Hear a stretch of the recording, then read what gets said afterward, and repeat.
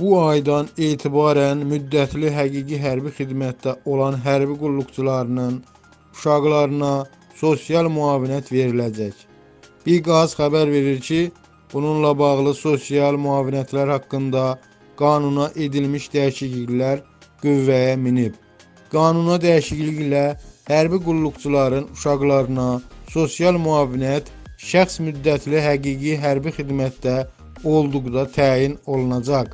Digər dəyişikliyə əsasən müddətli həqiqi hərbi xidmət hərbi qulluqçuları həqiqi hərbi xidmətdən ehtiyata buraxıldıqda və ya vəfat etdikdə müavinətlərin ödənişi dayandırılacaq.